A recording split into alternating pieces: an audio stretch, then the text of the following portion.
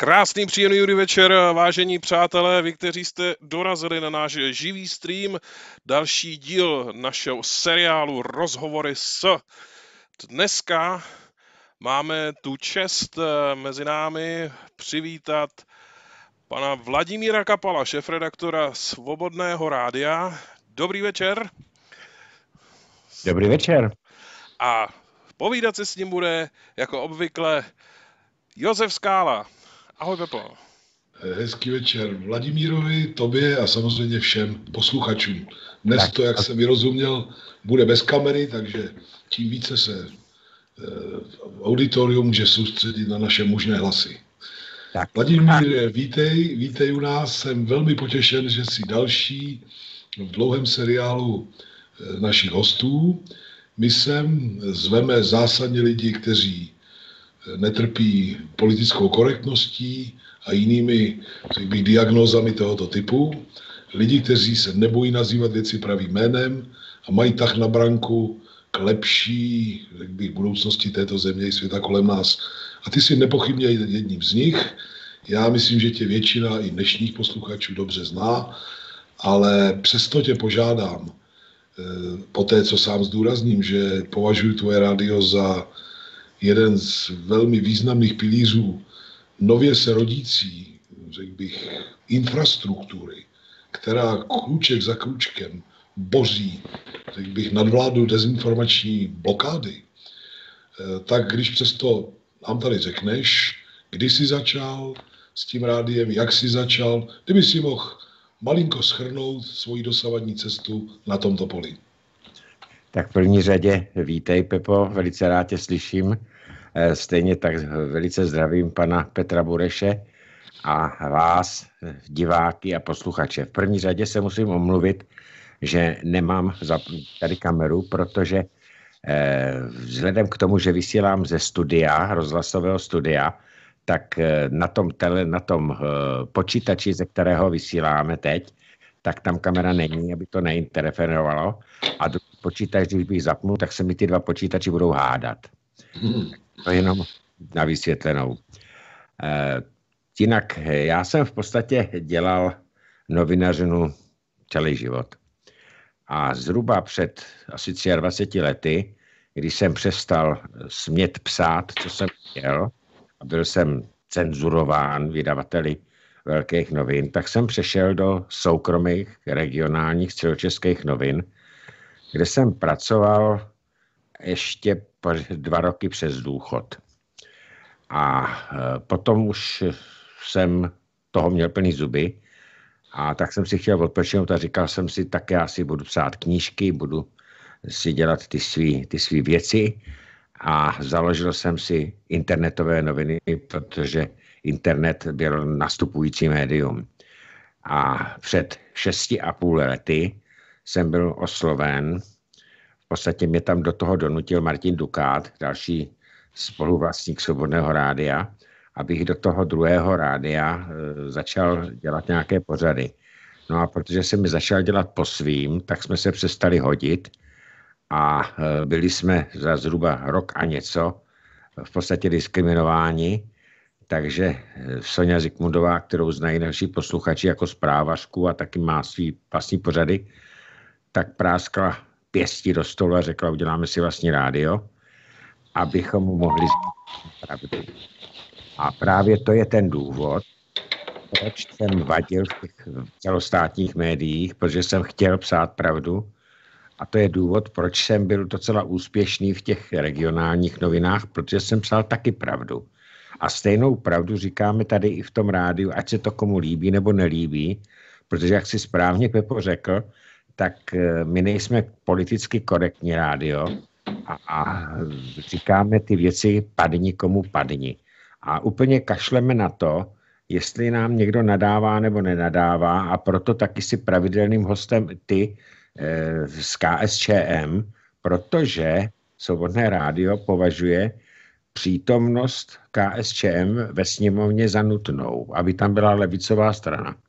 Takže to je asi důvod, proč jsme založili Svobodné rádio. No a teď 15. listopadu máme už pětileté výročí a poslechovost nám neustále roste. No, popiš možná, Vláďo, jestli tě můžu poprosit, jak vypadá celkový, řekněme, týdenní harmonogram, rámec toho vysílání. Paž ty si připomněl i Soňu, eh, skvělou ženu, tvoji životní partnerku, mimochodem vynikající kuchařku a velice štědrou z tohoto hlediska. Když jsem chodíval, jezdíval za tebou ještě do vysílání, tak vždycky poznala, že jsem vysílen a nestihl jsem se najíst, tak ještě něco dobrého mi strčila pod nos. Moc jí pozdravuj.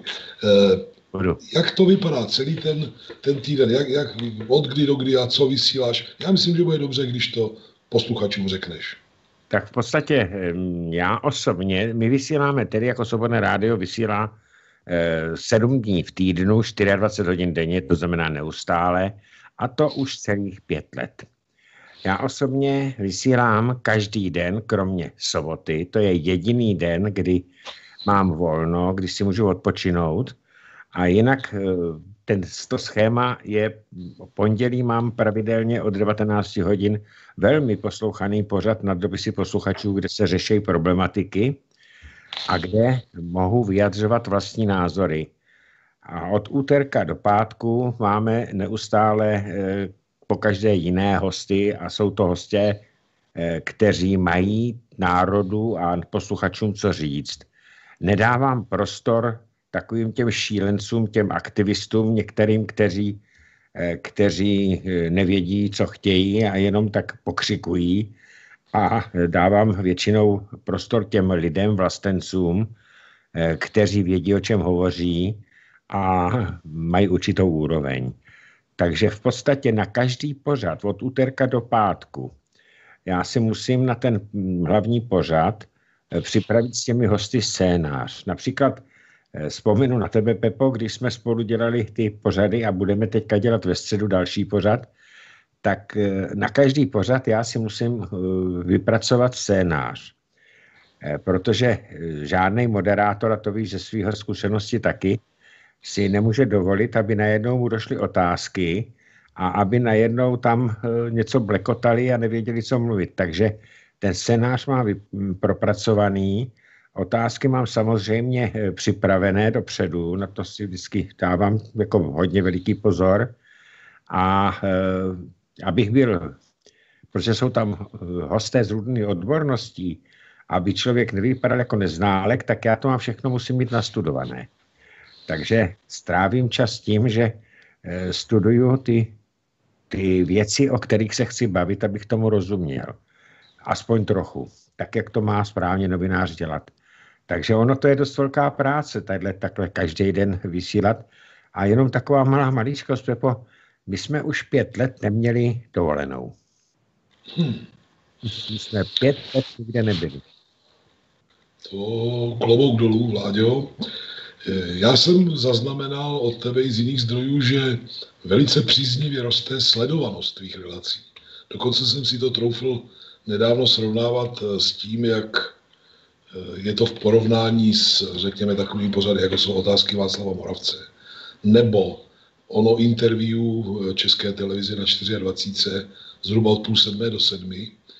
A vyšlo mi, že sledovanost tvých interview je někde tak už na poloviční, možná 40% úrovni toho, čeho dosahuje tento mamut za 8 miliard korun ročně od eh, jaksi, povinných koncesionářů. Mám na mysli samozřejmě v relacích srovnatelných. Dvě z nich jsem jmenoval. Za to ti mhm. chci pogratulovat. Chceš-li pochlub se, jak se vyvíjela sledovanost tvých interviewů? Tak eh, my jsme samozřejmě měli velmi usnadněnou výho, teda úlohu v tom, když jsme začínali před těmi 15 lety. Bylo to přesně 15. listopadu, protože nás už posluchači znali z toho minulého rádia a tam eh, byli enormní rozdíly mezi poslouchaností našeho studia a těch ostatních studií. Tam to bylo opravdu enormní. Zatímco nás poslouchali v té době eh, stovky a několik tisíc lidí, tak ty ostatní studie, studia poslouchala eh, v řádově desítky lidí. A to hmm. byl taky důvod, proč jsme byli diskriminovaní a proto jsme odešli. Takže to, byl, to byla naše výhoda, že nás posluchači znali a že si to mezi sebou řekli. V současné době jsou pořady, například nejvíc sledovaný pořad, který jsme dali i na YouTube, tak byl pořad Štrasburské memorandum, do dneška to je na YouTube, tam bylo sledováno asi 125 tisíc lidí. To bylo hodně posledovaný pořad, protože podle toho Štrasburského memoranda v podstatě ten nový světový řád dneska jede. To, co tady zažíváme teďka nejenom v Evropě, ale na světě, včetně covidu, tak to tam bylo, před, to tam bylo naplánované. Tak to byl nejsledovanější pořad. A jinak se nám ty, eh, ta sledovanost ustálila tak, eh, že mezi 10 až 25 tisíci lidi, eh, lidmi posluchači za pořad. Jsou tam tak, výjimky, že třeba když tam je Martin Koller, nebo když jsme měli pořad o Stalinovi spolu, tak tam ta sledovanost byla velmi vysoká, protože to lidi, posluchače zaujalo, že jo, Stalin. Pravda. Hmm. No, eh, tvoje rádio navíc poslouchají, eh, řekl bych, politicky zvídaví a politicky aktivní lidé. To je znát ze všech těch ohlasů, otázek, eh, názorů, které vyslovují. A my máme dva, aspoň my dva vždycky máme tu smůlu, že dotazů a zájmu, zájmu se nějak vyjádřit je zpravidla několikanásobně víc, než stačíme v tom čase prostě zvládnout, což je velice dobré znamení. Ale tebe zdobí, tvoje rádio zdobí i, řekl bych, okruh lidí, kteří tam pravidelně vystupují. Já si trochu tvrdit, že jejich intelektuální nivo, a teď snad to doufám nikdo nebude vztahovat ke mně, abych jakousi nepřímou, nepřímý komentář vlastní osobě, eh, jejich intelektuální nivo, jejich, řekl bych, kuráž, jejich eh, schopnost věcně se vyjadřovat eh, k otázkám velmi podstatným a závažným je několikanásobně větší než u panoptika, které se znovu a znovu střídá na obrazovkách České televize, které je velmi účelově, selektivně prostě vybíráno a eh, že by tam docházelo ke skutečným názorovým střetům, obrážejícím bych stav veřejného mínění, rozložení názorové ve společnosti, tak to o sobě Česká televize může říci eh, jen velmi obtížně. Pochlup se možná, Vladimír, jestli, jestli chceš, eh, plejádou lidí, kteří u tebe pravidelně vystupují. Tak v první řadě jsou to eh, politici eh, z SPD, když ještě byli v ANO politici, kteří se nebáli a směli říct vlastní názor, jako třeba Zdeněk Soukup, tak eh, vystupoval on taky u mě, eh, protože my dáme prostor všem slušným eh, lidem. A taky to chudák odnes, protože si dovolil říkat pravdu, no a tak byl potom při posledních parlamentních volbách daný na nevolitelné místo, to, to je taky známá praxe. A takže vystupují tady, říkám, politici, ale jenom ty špičkoví politici, z SPD, takže můžu jmenovat, že tady pravidelně vystupuje každý měsíc Tomio Okamura a kolikrát mu dávám otázky, že se i rozčílí, protože eh, se tam na nepříjemné věci. Eh, vystupuje tady velmi pravidelně Jiří Kobza. Eh, teď v poslední době tady pravidelně vystupuje Jiří Radek Koten, ale vystupoval i další. Hm, Radovan Vích, Lucie Šafránková, Eh, další věc, eh, já se nebojím ani a považuji ho mezi svého přítele, nebo jsme přátelé, eh, pravidelně každý měsíc tady hovořit s předsedou dělnické strany sociální spravedlnosti Tomášem Vandasem, kterého vůbec nepovažuji za neonacistu a za extrémistu, ale za velice rozumného. Navíc ti, kteří je házejí mezi xenofoby, rasisty a neonacisty by si měli přečíst jejich program. A na druhou stranu eh, vystupují u mě i třeba v tvojí osobě členové KSČM. Vystupoval tady u mě eh, europoslanec eh, Jarda Kohlíček, když tady, když ještě byl v Europarlamentu. Vystupují u mě senátor Jaroslav Doubrava, pravidelně, taky přítel. Martin Koller jmenovaný, profesor Oskar Krejčí, který je jeden z nejlepších politologů, kterého já znám, stejně tak, jako tady u mě vystupoval Zdeněk Zbořil. Karel Sís, eh, teďka jenom nejdřív jsem byl nemocný já, potom byl nemocný eh, Ivan vyskočil a jsme domluvení, že až se zpamatuje z toho koronaviru, protože ho to taky přepadlo, tak tady bude vystupovat Ivan Vyskočil. A já nevím, docent Radim Valenčík, docent Martin Petr Hampr, eh, skvělý, opravdu skvělý Zdeněk Chytra. Tak to jsou všechno okruh lidí, kteří u nás vystupují, ale eh, Josef Skála velmi pravidelně vystupuje. A musím ti dát zapravdu, protože já si vybírám hosty eh, opravdu na velmi vysoké intelektuální e, úrovni, protože já celý život se jaksi neumím bavit s lupáky. Hmm. Ty, Vladimíre, pokud mě paměť nešálí, zveš kromě lidí, jejichž, řekl bych, výraznou vlastností je politické angažmá, i e, odborníky z sféry třeba energetiky, lesního hospodářství a podobně, což ano. tvoje relace také obohacuje. Možná to rozletí tímto směrem. Ano, samozřejmě eh, vystupoval u mě třeba známý inženýr Radek Novotný, eh, který, eh, se kterým jsme hovořili o problematice české vody a, a zlodějný uveorie. Vystupoval u mě, a to ti za to za ten kontakt děkuju, pan inženýr Simons, když jsme se bavili, a zase ho mám v plánu oslovit, o kůrovcové strašlivé tragédii. Eh, takže ano, tadyhle ty odborníci vystupuje u mě docela pravidelně jeden z našich největších energetických odborníků, eh, pan inženýr Hinek Berán, který je taky velmi, velmi poslouchaný a žádaný.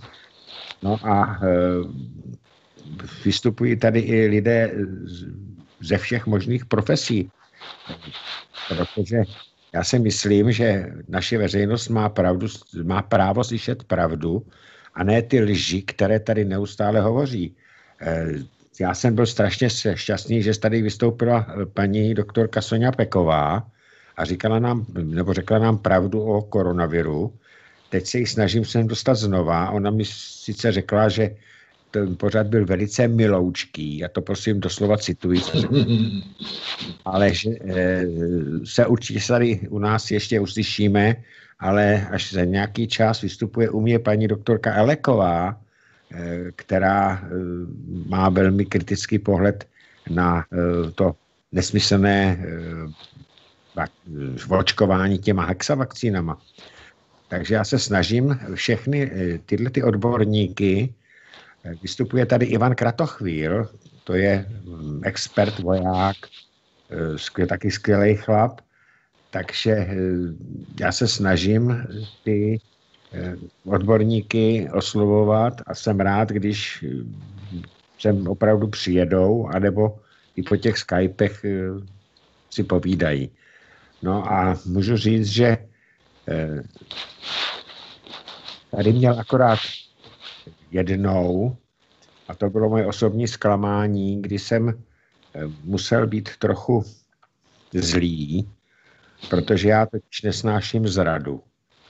Já jsem nikdy, nikdy, eh, přátelé, vědomě nikdy nezradil a mě hrozně vadilo, když jsem pomohl, co Svobodné rádio pomohlo eh, jednomu členovi SPD do Evropského parlamentu, vystupoval mě pravidelně a on potom v, v doplňovacích volbách do Senátu za zesnulého eh, předsedy Senátu Kuberu veřejně na billboardech jako europoslanec za SPD podpořil, eh, podpořil kandidáta Trikolory, byť v tom obvodu kandidoval člen SPD. Já to považoval za zradu, no a tak jsem na něj neútočil, nebyl zprostý, jenom jsem se ptal na jeho práci podrobně na jeho práci v Evropském parlamentu. No a tak to skončila, protože se mu to nelíbilo. Hmm, rozumím. Já myslím, že mám plné právo ti vyseknout jedno pokrle, Vladimíre.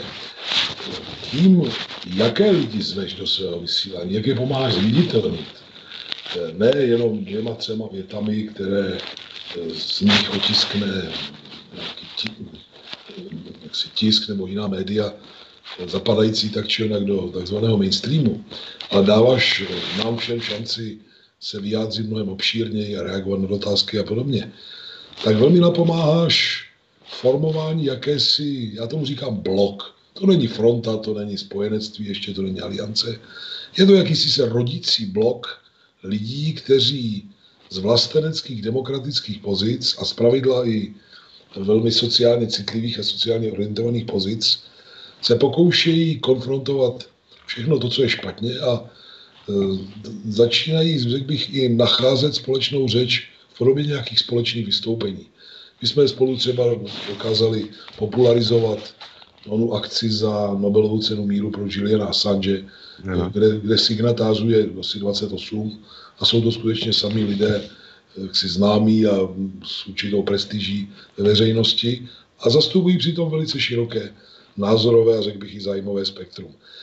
Řekni mi, ty, který to děláš každý večer a běží ti to před očima a před ušima, zaznamenáváš také eh, určitou tendenci eh, k, ke spojení sil navzdory všelijakým nadávkám o extremistech a já nevím o čem, anebo si to já namlouvám?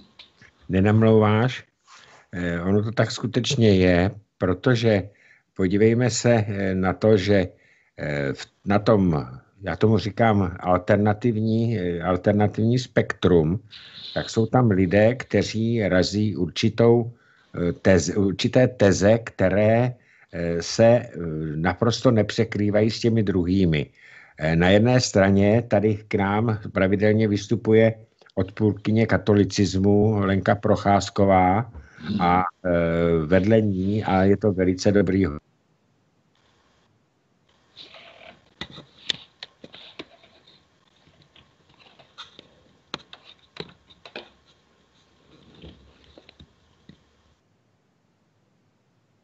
Já jsem ztratil asi před deseti vteřinama jsem ztratil zvuk.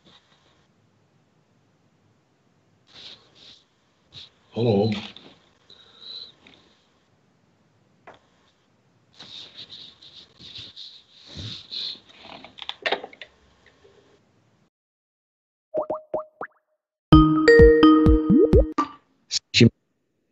Já, já už, už já slyším, ono to vypadlo, že jo?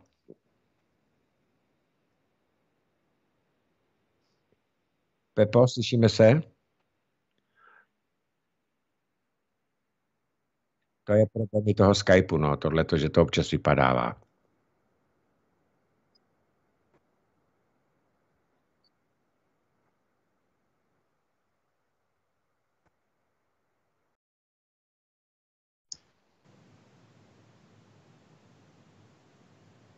Halo, Pepo? Pane Budeš, já vás slyším dobře.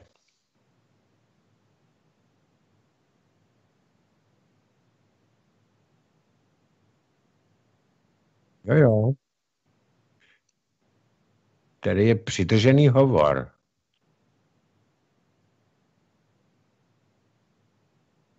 Je to na tom, na tom společném, že to je přidržený hovor, já na to klikám a ono se nic neděje. Mm-hmm.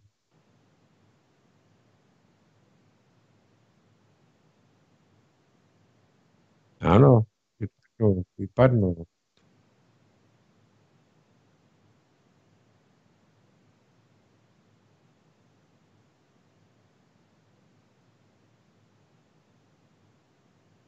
A, takže já se koukám tady na tom.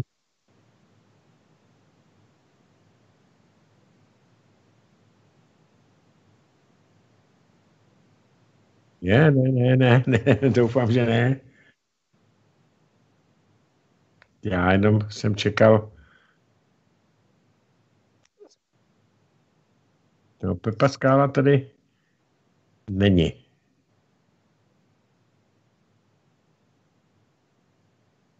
Vypadlo to z ničeho nic a objevilo se mi Petr Bureš vás odebral z hovoru. No, mě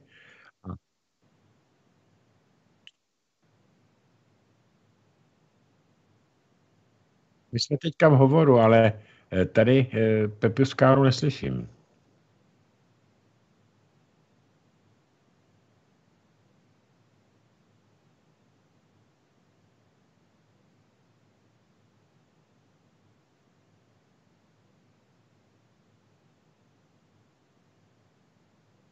Jestli tam nevypadlo, jestli mu nevypadlo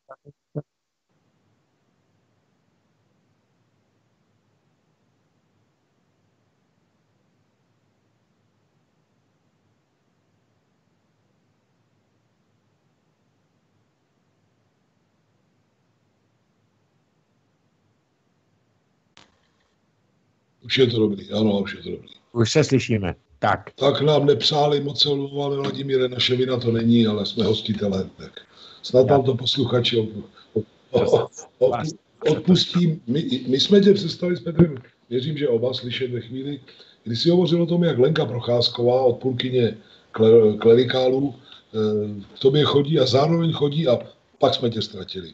Zároveň chodí i věřící katolík eh, Michal Semín, a máme spolu výborné pořady. Takže my dáváme prostor opravdu všem, kteří mají těm lidem, našim posluchačům, co říct. Na jednu stranu tady třeba vystupuje, vystupuje skvělý, skvělý bezpečnostní odborník Jan Skalický, který se spíš kloní stejně jako docent Valenčík k tomu nebezpečí koronaviru. A na druhou stranu tady vystupuje bývalý policejní prezident u nás a taky velice často a rád a předseda Asociace nezávislých médií, médií Stanislav eh, Novotný, který naopak eh, ten eh, covid a to šílenství neuznává. Takže my opravdu dáváme našim hostím a snažíme se ty hosty brát se z celého širokého spektra. A teďka řeknu jednu věc, tu nejdůležitější. A tito lidé se přesto, že mají různé názory, dokázali sejít eh, už po dvakrát eh, v Příčovech na setkání vlastenců. To první setkání v loni bylo teda naprosto úžasné, my jsme z toho dělali přímý přenos. To letošní bylo, mm, bylo v podstatě trošičku nabourané tím, že tam chtěli pozvat eh, a pozvali, on tam nakonec nepřišel, eh, Václava Klauze z Trikolory, který to prezentoval jako akci Trikolory a to já jsem říkal, že nebudu propagovat Trikoloru, protože já nevěřím, že Trikolora eh, je, ne nevěřím, vím, že Trikolora není vlastenecká strana, že to je pouze restart ODS 90. let. Ale přesto se tam ti lidé, a myslím, že si tam byl i ty, dokázali, se, dokázali sejít a to je přesně to, že všichni ti inteligentní, vzdělaní lidé, Eh, kteří vědí, co je potřeba pro záchranu naší suverenity, naší státnosti, naší země udělat, takže dokážou potlačit ty rozdíly, které je v podstatě rozdělují a sejít se na jedné palubě a táhnout za jeden provaz. A to je to nejlepší eh, pro mě sdělení, že se přece jenom tato vlastenecká fronta dokáže domluvit. Musíme na tom tvrdě pracovat. Každý ve svých řadách narážíme na řadách svých stran, hnutí, stoupenců, narážíme někdy na velké nepochopení, někdy docela nepěkné eh, podpásovky, ale zdá se to nedá. Souhlasím naprosto s tebou. Vláďo, u tebe, eh, když to, vrá, když to obrátím tvoji osobě, je na tomto směřování pozoruhodný jiný moment. My dva jsme, řekněme, před 40 lety šli každý docela jinou cestou ty si podepsal chartu 77, já jsem byl aktivní komunista, funkcionář a tak dále, no, v nomenklatuře a, a, tak, a tak dále a tak podobně. Možná eh, využij i dnešní příležitosti a popiš eh, svoji cestu od té doby, včetně prozření, k ním si dospěl. Já to vždycky hrozně poslouchám, protože to říkáš nevtíravě, pravdivě, bez jakýchkoliv zábran a určitě to Eh, prospějí posluchačům dnešního pořadu. Tak mě moji přátelé, dlouholetí spolužáci ze základní školy třeba, tak mi říkají, ty seš celoživotní rebel.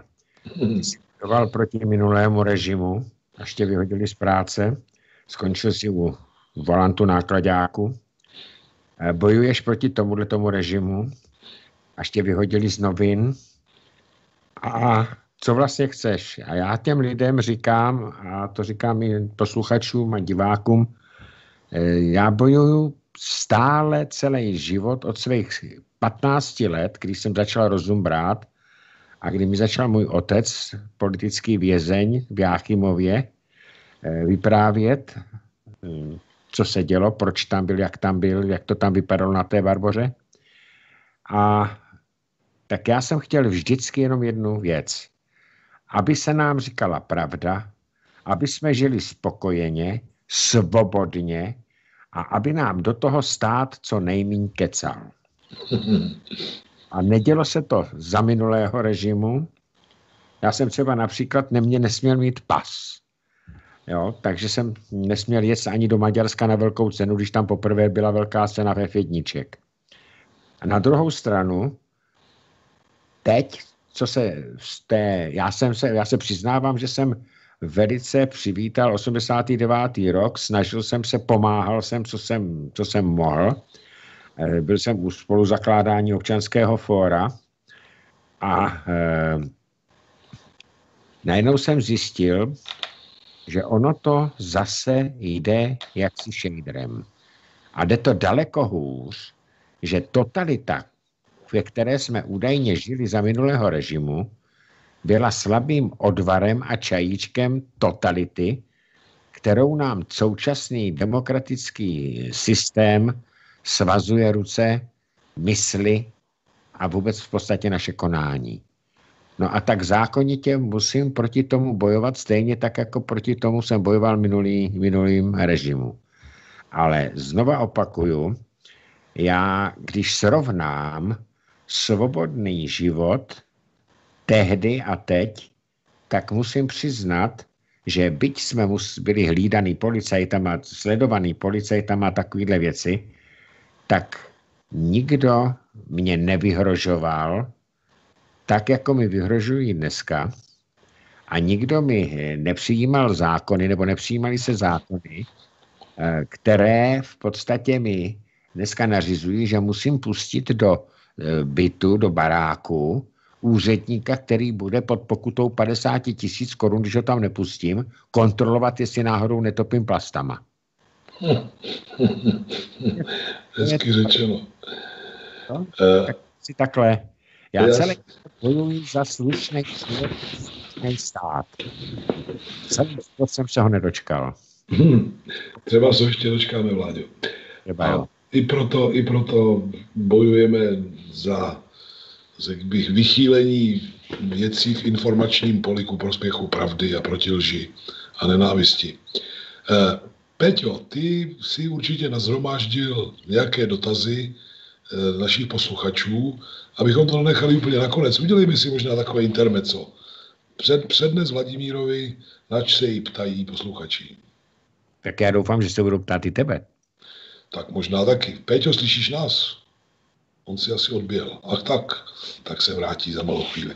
Vláďo, než, než se Petr vrátí, ty, jak ti to každý večer s výjimkou soboty, jak říkáš, eh, prochází těmi pořady, určitě zaznamenáváš nějaké, řekl bych, významné trendy nebo změny v, i v postojích lidí, kteří u tebe se objevují, nebo v jejich názorech na to, co je dnes ano. akutní. Už se se zmínil o tom, že je poměrně velký rozptyl v pohledu na tu takzvanou koronakrizi. Ale já si myslím, že je tady víc témat, která poutají veřejnou pozornost. Eh, ekonomická krize, eh, narůstající napětí mezi velmocemi, migrační vlna a snaha Evropské unie nám nějakým, nějakou oklikou, nějakým švindlem v podstatě vnutit to, co naše země nikdy a nijak nezavinila. Jestli tě můžu poprosit, zkus eh, se zamyslet nad tím nahlas, v čem, řekl bych, eh, jsou patrné určité změny v pohledu, a tím nemyslím, že bys na někdo musel měnit názor. Spíše v tom, jak tvoji hosté zachycují narůstající hrozby.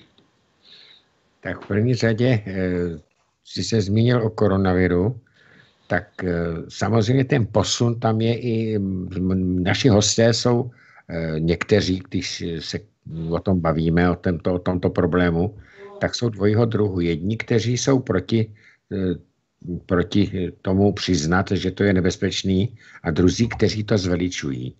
Ale u obou, jsem, u obou těchto typů našich hostů, tak jsem zjistil skutečně posun k takovému racionálnímu středu. Eh, zdá se to vyjádřit asi tím, co my tady říkáme z pozice Svobodného rádia. My nespochybňujeme koronavirus COVID-19, my spochybňujeme čísla, která nám eh, cpou média mainstreamová a spochybňujeme ten humbuk, protože ten humbuk je uměle dělaný. A teď se nebudu obracet na čísla VHO a takovéhle věci, ale ten posun mezi těmi našimi hosty tam je vidět. Stejně tak je tam posun eh, k té, k tomu nebezpečí islamizace. Eh, když byli někteří hosté, kteří byli velice skeptičtí k tomu, že eh, ta islamizace Evropy by mohla dorazit i k nám, tak dnes, nebo teď v posledních době, po tom, co ty zprávy z té západní Evropy jsou velice, velice znepokojivé, tak uh, už to berou opravdu všichni naši hosté na velmi vážnou, uh, vel, jako velmi vážně a cítí to jako ohrožení. Naprosto se shodují, všichni naši hosté se shodují v jednom. Je to snaha Evropské komise, především Angely Merklové, islamizovat Evropu a zničit Českou republiku jako suverénní stát. My už v podstatě jsme ekonomická kolonie Německá a Spojených států, Evropského Brusele, ale oni se snaží udělat z Evropské unie superstát, takové spojené státy evropské. A všichni naši hosté to cítí jako velmi závažné ohrožení a proti tomu bojují. A to si myslím, že se shodují například eh, třeba Tomáš Ortel, který u nás taky vystupuje a zase tady bude před Vánoci vystupovat. A mm, například my dáváme prostor i eh, biskupskému, teda mm, byzantskému patriarchátu, biskupové Timotej a Metoděj, i když já neustále opakuju, že já nejsem věřící, ale tady už vidíme i tu snahu eh, té katolické církve napomáhat té islamizaci a právě proto tady u nás mají velmi e, prostor biskupové, protože oni například oni uvalili ten biskupský patriarchát, byzantský patriarchát, uvalil kladbu na e, Bergolia, na papeže Františka, protože ho nepovažují za, za papeže. Takže to spektrum e, těch hostí v podstatě se snažím aby bylo co nejširší a myslím, že se nám to docela daří, protože e, ty lidé to tak oceňují. Já se dostanu k jinému uzlovému momentu, Vláďa. Moc by mě zajímal tvůj názor. Ještě před pár lety patřilo k bontónu i mezi lidmi jinak docela inteligentními a soudnými se tak jako přezíravě vyjadřovat o Rusku, e, přizvukovat všelijakým legendám o tom, že to je v podstatě nějaký totalitní stát, že nás ohrožuje pomalu a tak dále. Ne, ne, že by to každý tak tvrdil, ale ti lidé s tím mnohdy nějak výrazně nepolemizovali. A mně se zdá, že tak, jak narůstá snaha navěsit na obraz dnešního Ruska ty takzvané obrazy nepřítele, eh, v podstatě ho demonizovat a hecovat válečnickou mentalitu, válečnické klima, atmosféru vůči této zemi, že v inteligentní části společnosti a mezi lidmi, které ty zveš pravidelně do vysílání, jako by se jaksi probudila mnohem silnější vůle tomuhle rozhodně čelit. Já to považuji za o to významnější nejenom kvůli Rusku samotnému, byť eh, samozřejmě jedině suverénní Rusko eh, je protivahou hegemonního tlaku z druhé strany A čím, když to zjednoduším, tak čím suverenější bude Rusko, tím větší prostor má i Česká republika pro nějakou suverénní, suverénnější politiku. Ale e, ta demagogie o Rusku byla svého druhu smorníkem, tmelem prostě. Veškeré ostatní demagogie pod rouškou, pod hlavičkou politické korektnosti. A mně se zdá, že teď se právě ten svorník, který to drží pohromadě, docela úspěšně hroutí, eh, řekl bych minimálně, eh, v hlavách těchto lidí a každý z nich má přirozeně i nemalý vliv na veřejné mínění. Vnímáš to taky tak, nebo, nebo máš dojem, že přeháním? Eh, ne, nepřeháníš, je to naprosto, naprosto přesně, jak jsi říkal.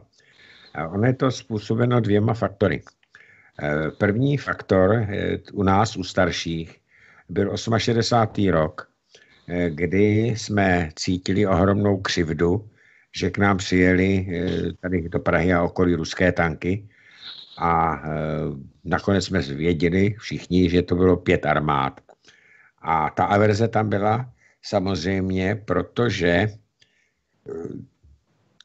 každý člověk, který má rád svou vlast, tak nemá rád, když tam nad ním stojí nějaký cizí vojáci, Eh, se samopalama rukou. Eh, v současné době, nebo tak řeknu jinak, po 90. roce, aspoň pro mě, eh, nastal určitý zlom a šok. Já jsem se totiž dostal k materiálům, které byly připraveny v 68. roce a já jsem si je prostudoval a zjistil jsem, že to, co se stalo po 90. roce s naší ekonomikou, s naším státem, s naší suverenitou, takže už bylo připravováno v roce o 68 postupně salámovou metodou. Takový jako jemně, takový, takový systém vaření žáby. A já jsem už několikrát, a znova to opakuju i tady u vás na vašem pořadu, prohlásil, že se stydím za to, že jsem pomáhal nastolit tento režim, který je poplatný fašizující se Evropské unii. A dokonce jsem prohlásil a prohlašuji to znova, že 28, 21. srpnem 68. roku nám ty tanky zajistili 20 let klidu a pokoje v podstatě. Já jsem bydlel ve Staré Boleslavi, kousek od Milovic a Milovice, jak známo, bylo největší soustředění eh, sovětských vojáků a já jsem je tam skoro neviděl. Viděl jsem jejich paničky, ale ty vojáky jsem neviděl, tam nejezdili, pouze někdy, když provázeli nějaké zboží nebo nějaké věci do těch Milovic. Ale ten posun nastal v okamžiku, kdy začaly Spojené státy v podstatě rozdmíchávat a snažit se o ozbrojený konflikt s Ruskou federací. Eh, díky Ruské federaci a především Vladimíru Putinovi, tak eh, zůstala, zůstala celistvá, nebo aspoň části celistvá eh, Sýrie. Za, za zásluhou Ruské federace a Vladimíra Putina si američani nedovolili napadnout Irán. Takže v podstatě teď se znova ti lidé přiklánějí k tomu, že jestliže se podíváme, kolik má Ruská federace po světě základen, je jich šest, a kolik jich má e, Spojené státy, je jich přes 800, a podívá se na barevnou mapu e, okolo Ruské federace, jak jsou tam v půlkruhu rozmístěné, tak je naprosto jasné, komu tady jde o e, rozbití té Evropy a kdo tomu brání. A tak se postupně během posledních deseti let začal pohled i našich hostů, i můj osobní, k tomu Rusku měnit. Já i když jsem v minulém režimu e, na Rusko nadával, na Sovětský svaz nadával a nadával jsem velmi, tak jsem uznával jejich kulturu, četl jsem jejich knihy jejich spisovatelů, eh, byl jsem na výstavě eh, ruských, tedy ještě cárských, ale ruských malířů. A uznával jsem například jejich filmovou tvorbu, protože několikrát jsem viděl skvělý Vojna a mír, naprosto fantastický film. Nicméně ta jejich politika mi v podstatě neseděla. Dneska jsme zjistili, proč se to dělalo. A sleduju to i u těch našich hostí, že v podstatě se ten, ten zájem o tu Ruskou federaci eh, zvyšuje a ten pohled se mění v objektivní. Z takového subjektivního na objektivní. A druhá věc ještě. Já jsem Slovan. A vždycky mi budou bližší Slovani, se kterými si rozumím, i co se týče mm, řeči, než nějaký anglosasové, kteří nám nikdy nic dobrého neudělali. Tak asi takhle, ale te, na tvoji otázku ano, posun našich hostí vůči Ruské federaci je evidentní a dívají se na, na současné Rusko, eh, řekl bych, očima bez jakéhokoliv zabarvení. Ani černými brýlemi, ani růžovými brýlemi, ale zkrátka čirými vlastními e, očima. Já to jsem rád, že jsi mi to potvrdil. Já to považuji za mimořádně důležitý zvrat eh, v naší zemi, protože se daří vyvázat tuto jednu z klíčových otázek našeho mezinárodního postavení z pout, eh, emocí, třeba i pochopitelných s ohledem na minulost, eh, stereotypů, vášní a tak dále. A v té velmi turbulentní době, která nás čeká teďko, eh, se opravdu může stát velmi rychle, že budeme znovu se potřebovat navzájem velmi, velmi, velmi živě, ve velmi významných otázkách. A je moc dobře, že se ten krunýř stereotypů zděděný z minulosti daří lámat. Vladimíre, měli bychom dát slovo posluchačům. Péťa už tam čeká s otázkami. Poslední větu, jestli dovolíš. Ano, povídej. Eh, klasicky to vyjádřila už před dvěma nebo třemi lety eh, Marine Le Pen. Jestliže někdo má zachránit Evropu před naprostou islamizací, tak je to Rusko. No, je to, je to, je to jakoby paradox, že já přitakám dámě, která v politickém spektru stojí, řekněme, docela daleko ode mne. Ano. Nicméně já nikdy nebudu přitakávat tomu, že Marine Le Penová je fašistka a něco na ten způsob. To jsou prostě nesmysly. To, to tak není a jsem rád, že i e, kolegové z jiných politických formací u nás i v zahraničí také nechodí a neříkají, že marxista je extremista a já nevím co. Pochopili jsme, že musíme navzájem e, pomáhat jeden druhému i v tom, že budeme prostě čelit demagogii, která nás má odrovnat jednoho za druhým, aby tady měl monopol někdo úplně jiný, někdo, kdo z naší zemí nemyslí vůbec dobře. Peťo, ty máš slovo, máš tam otázky. Tak uh, vemu hned uh, tady, co vidíme nejblíž. Slyšíme se, pánové, jo? Slyšíte mě, doufám. Ano, ano. Jo, dobrý, já se to radši ověřím. Tak Jiří Kohout se ptá, dobrý večer, chtěl bych se pánu zeptat, eh, jak vnímají trikoloru a jestli neví, kdo ji platí a koho píseň pějí. Tak... Vladimíre, máš slovo. Eh, já už jsem to říkal na našem rádiu několikrát, zopakuju to velice krátce. Eh, Trikoloru nepovažuji za vlasteneckou stranu a řeknu jenom čtyři základní, eh, základní programové body, se kterými zásadně jako vlastenec nemůžu souhlasit. A to zásadní odmítání referenda, přijetí zákona, zásadní odmítání, a to jsou slova Václava Klauze mladšího, zásadní odmítání přímé volby prezidenta, zásadní odmítání vystoupení, eventuálně vystoupení z Evropské unie, protože to považuje za dětinskost, prohlásil Václav Klaus, a teď ho cituji. A za čtvrté, zásluhou, ne, nikdy nesmíme vystoupit z NATO, protože zásluhou NATO, eh, říkal Václav Klaus, už 75 let v Evropě nebyla válka. A já, když jsem ho slyšel, tak jsem si říkal, sakra, on zapomněl na Jugoslávii. Jo? Takže Trikolora není vlastenecká strana A Trikolora má jeden jediný úkol. Za prvé je placená nejbohatším člověkem eh, České republiky panem Kellnerem a za druhé je to předstupeň pro znovu zvolení prezidentem Václava Klauze, buď mladšího nebo staršího. To už je jedno, nevím, který se rozhodne. Nic jiného zatím nehledám a není, podle mě. Já navážu. Já jako, řekněme, politik také, jsem si vědom, že Trikolora je kolapkou na určitou část vlastenecky naladěné veřejnosti. Vždycky je třeba u politiků rozlišovat, nebo u stran a hnutí, rozlišovat mezi těmi, kdo stojí v čele, kdo je sponzorují, kdo jsou za jejich zády a tak dále, a masou lidí, která jim z nějakých důvodů uvěřila.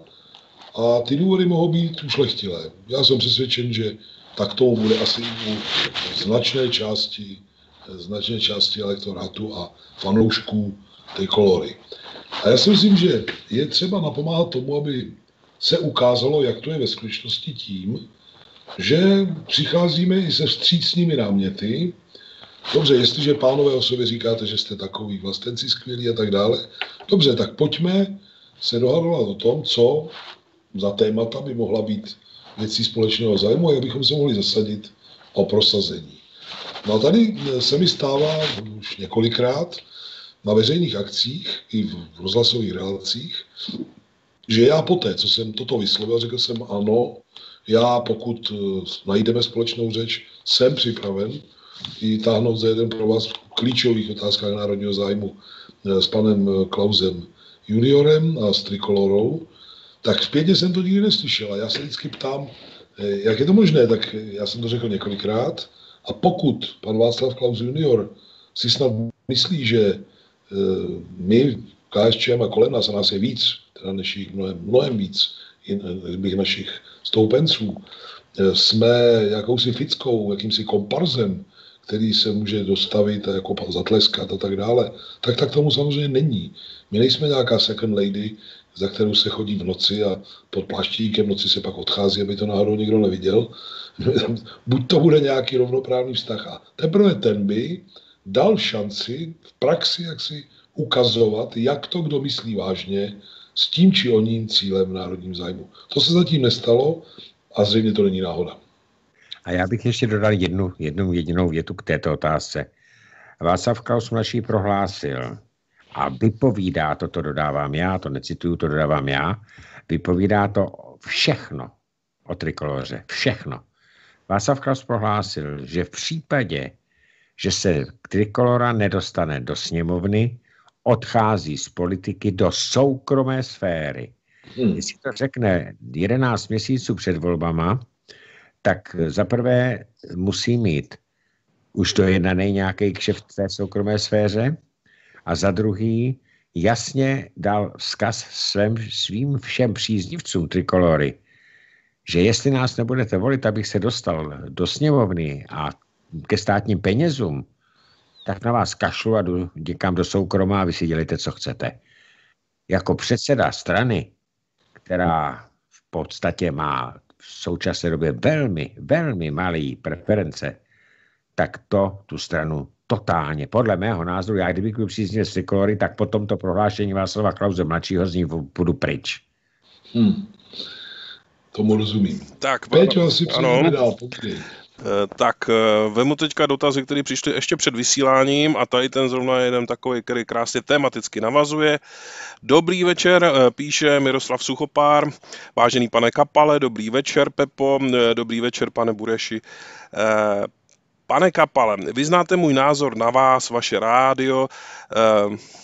Měl bych tedy dotaz, co by podle vašeho názoru Eh, se mělo udělat, abychom se nějak bez velkých problémů dostali z této covidové situace. Mám na mysli, jak ochránit ekonomiku, prostě jaký by byl nejlepší scénář. Pánové, smekám před vámi, skutečně smekám. To, eh, co všichni tři děláte, je skvělé a i to je malé slovo. Děkuji, Mirek Suchupár. Tak, je to vaše? já do toho Vladimíre skočím ještě dřív, než si vezmeš slovo, pro, promiň mi to. Mirek Suchopár je náš velký stoupenec, velký vlastenec, mimořádně schopný šéf kuchař, který se právě vrátil z Německa, kde pracoval dlouhé roky a může být hrdý na to, že když eh, řekl, že už definitivně se vrací domů a nemůže prostě pracovat pořád v zahraničí, tak teprve tehdy došlo se vším všudy jeho německým šéfům, eh, že jak, jak moc skvělého, řekl bych, šéfa kuchyně v tom hotelu v něm ztrácejí. Takže Mirka zdravíme a děkujeme mu za, za podporu a myslím, že si zaslouží vyseknout tuto poklonu. Mirek bude teď velmi aktivním, řekl bych, účastníkem boje za zlom i v otázkách, na které se právě ptá. Promiň, Vláďo, a teď máš slovo ty. Ne, to pořádku, ty jsi, ty jsi šéfem. Eh, zdravím eh, Mirka z Freiburgu. Hm, je to náš pravidelný posluchač a skvělý chlap. Eh, jak bojovat s covidem? Na to je velice jednoduchá odpověď. Začít pitvat.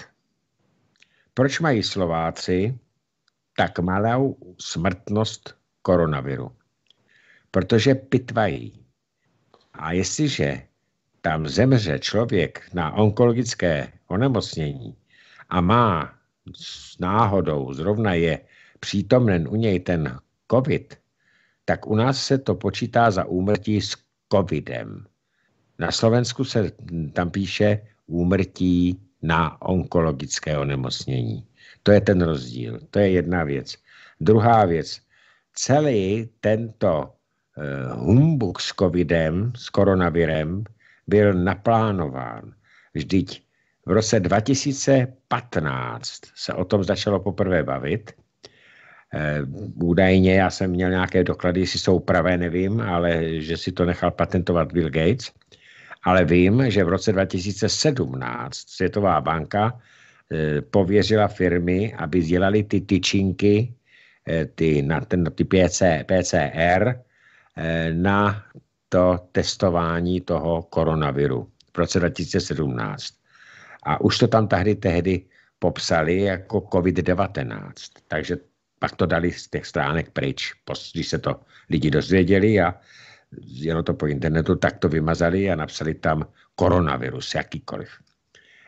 Takže všechno tohle to bych začal dělat trochu jinak zrušil bych nesmyslný, eh, já tomu říkám domácí vězení, protože nemám rád amerikanizmy, hmm.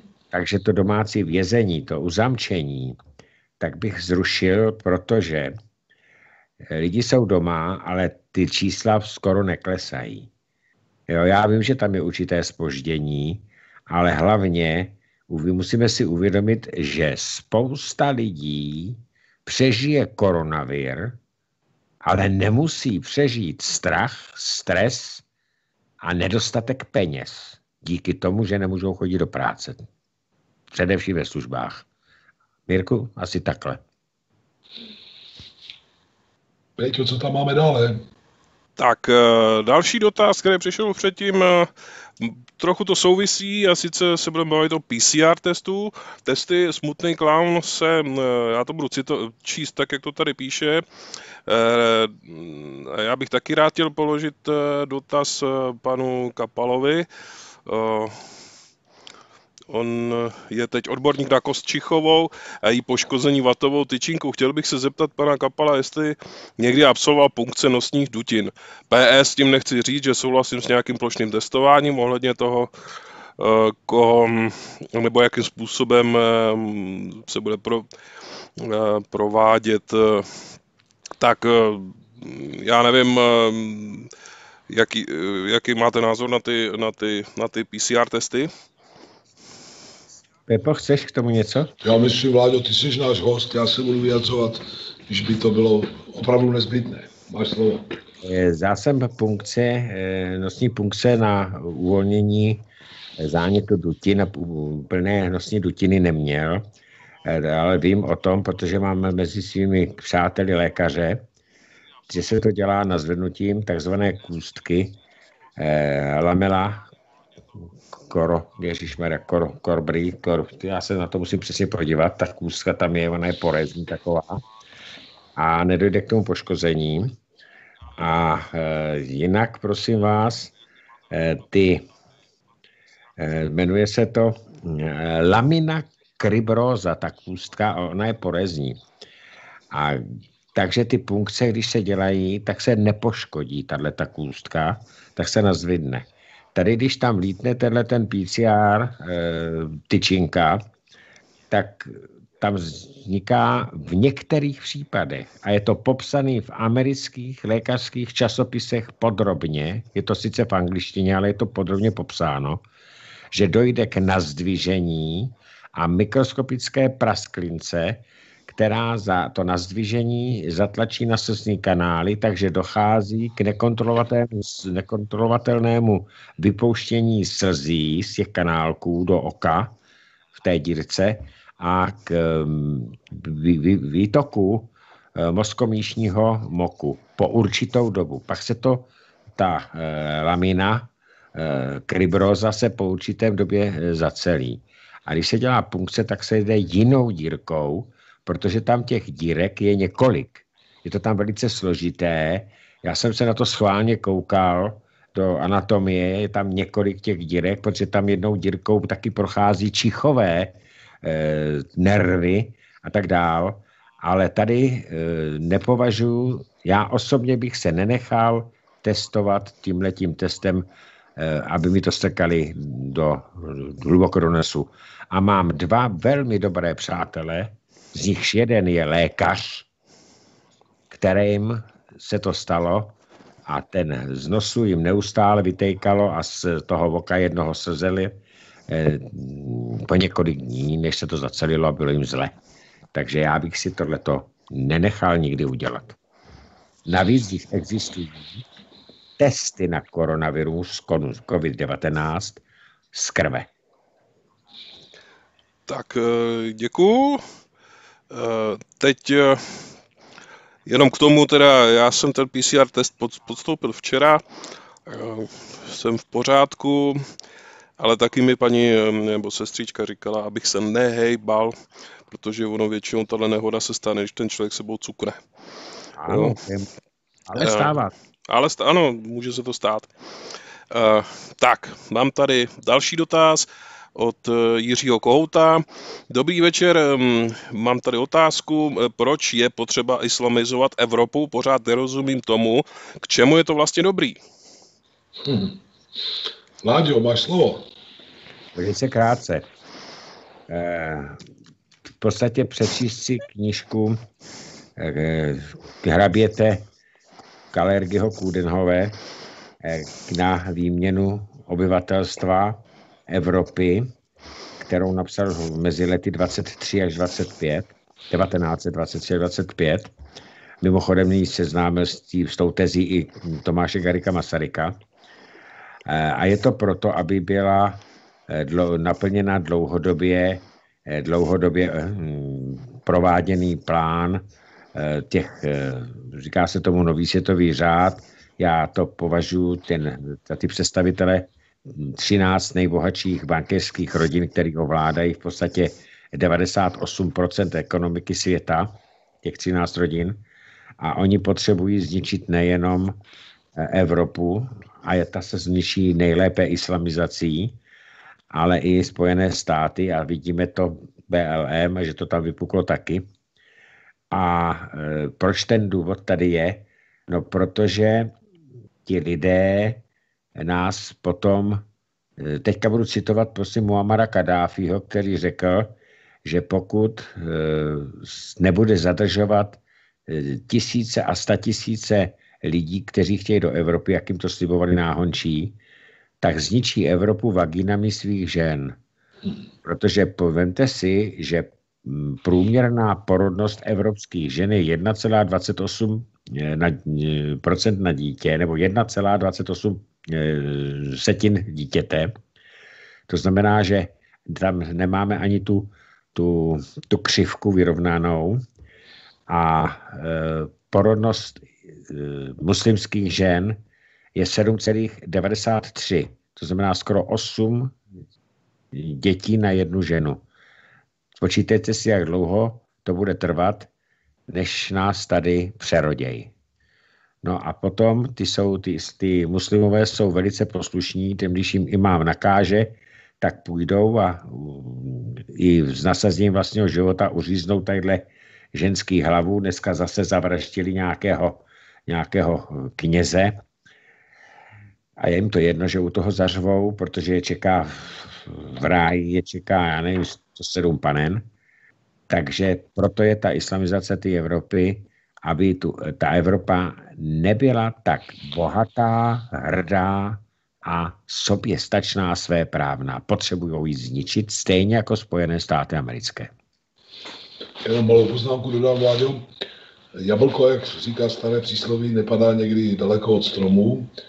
Rád bych připomněl, že v 70. a 80. letech jedním z hlavních expertů na obomování české veřejnosti z tehdejšího rakouského rozhlasu a televize byla Barbara Kudlhove Kalergiová, tedy žena z... Já nečím Já tak jsem... ještě jednou, je to lepší? Ano. Tak, říkám, že jablko někdy nepadá daleko od stromu. Jednou z hlavních postav eh, té, řekl bych, internacionály, která měla postupně položit eh, socialistické země na lopatky a přivést k převratům na, sklo, na přelomu 80. a 90. let, byla Barbara Kudenhove Kalergiová, což byla žena z téhož rodokmenu jako onen hrabě Kudenhove Kalergi, který napsal eh, knihu přesně zde uváděnou Vladimírem. Takže oni dokonce i v dalších generacích si pracovali na tom cíli. No, není to tak dlouho, co umřel. On už až v 80. letech. Ano, ano. K alergii. Takže tak. to je všechno takhle, no. Proto to je Pardon, já vám tam hned hodím další dotaz. Eh, dnes jsou online dostupné archivy CIA a FBI a je velice zajímavé, jaké informace jsou dnes dostupné o roce 68. Proč tam stále česká televize věší bulíky na nos?